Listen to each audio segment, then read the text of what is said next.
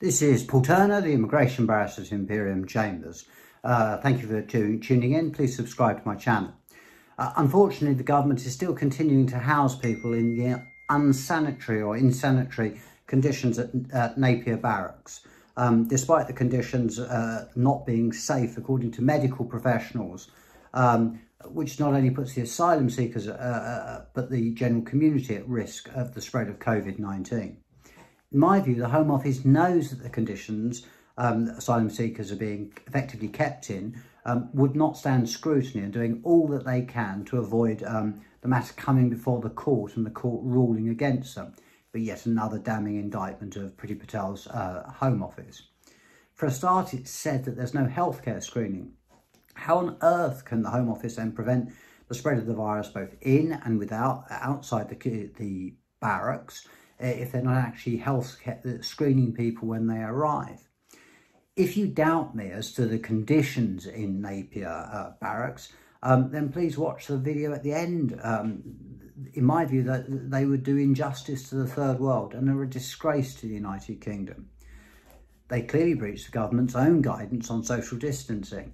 For example, if I put 28 people in one room and played a bit of music um, and gave them two toilets, I'd likely be fined £10,000. However, take away the music, but put them in um, and, and, let them sleep in between sheets, uh, and that's okay according to the government.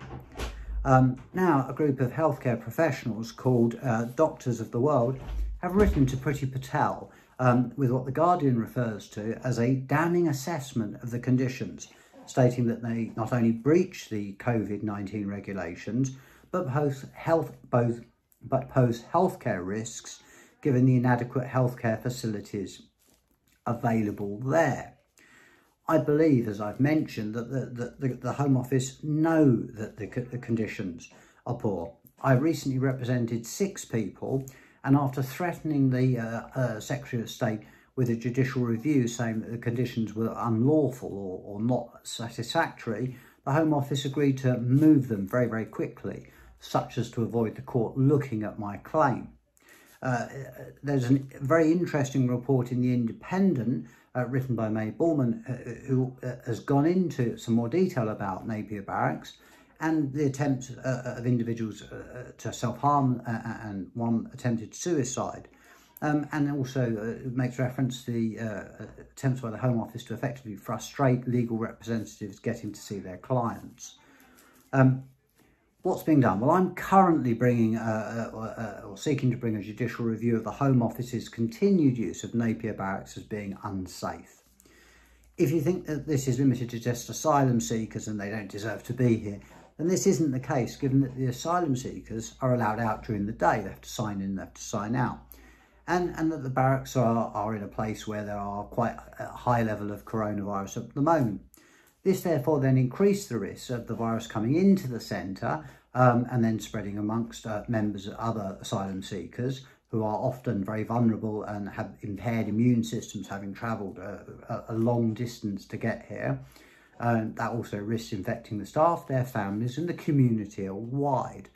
Um, put shortly, the conditions as you can see in the video are appalling.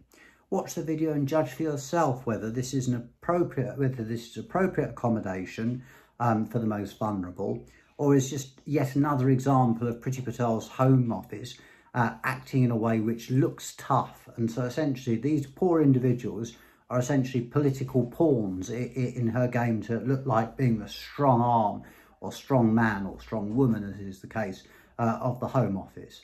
In my view, Napier Barracks is not an appropriate uh, place for um, the most vulnerable who have just arrived and are looking for protection. Um, indeed, prior to Napier Barracks being used and, uh, and other barracks, they were uh, being accommodated. And it's also important to re remember that the UK is not awash with um, asylum seekers at the moment. It's not the year 2000. There aren't 100,000 coming every year. The figures are relatively low compared to other European countries.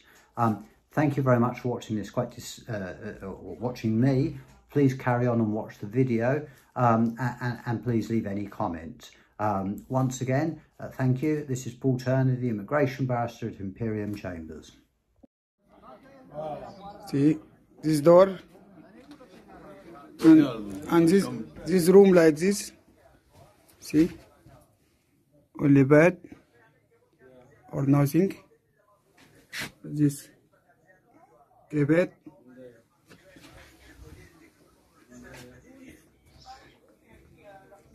All is wrong.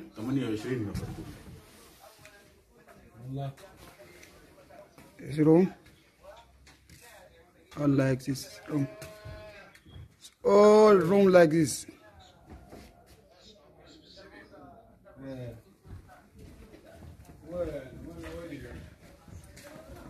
It's wrong. Like this room. he opens his door I see this is eh, the bathroom. It's door of the bathroom. See it's all 28 guys two bathroom. It's one bathroom I'm sorry about this, this bathroom. This door. And if you want to take the shower one shower. see look the shower here. It's for shower like sit down. Not killing good. Not killing every day it's said uh, not killing every day. The one week one time come killing. Eh? see? I don't know. Only translate for these guys. See?